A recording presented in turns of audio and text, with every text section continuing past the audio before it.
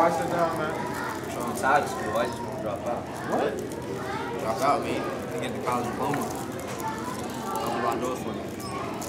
I don't know, man. That, I can't say I thought you was still active.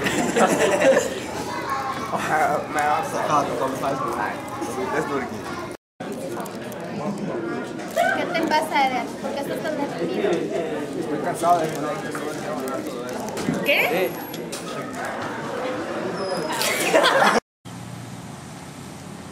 Edgar, why did you say like that in the cafeteria? I just want to start making money to help my family. You know, if you get your diploma, you will be making more money. Hey girl, did I, did I cut you off? did